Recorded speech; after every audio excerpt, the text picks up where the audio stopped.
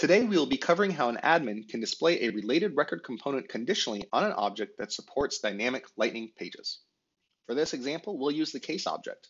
Let's say I want to display the contact details when a client is almost out of hours. First, I'll edit the Lightning page layout by clicking on the setup gear in the upper right-hand corner and selecting Edit Page.